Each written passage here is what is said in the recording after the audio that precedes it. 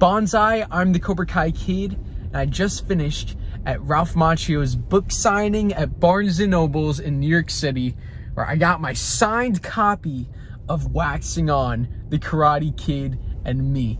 Let me pull it up here. We got Ralph Macchio's signature right there. Awesome. I am so excited to read this book. This is Ralph Macchio's memoir on like his whole life, filming The Karate Kid. Um, I'm so excited to see this. Uh, there's a lot of cool behind the scenes tidbits and more. So uh, shout out to Ralph Macchio.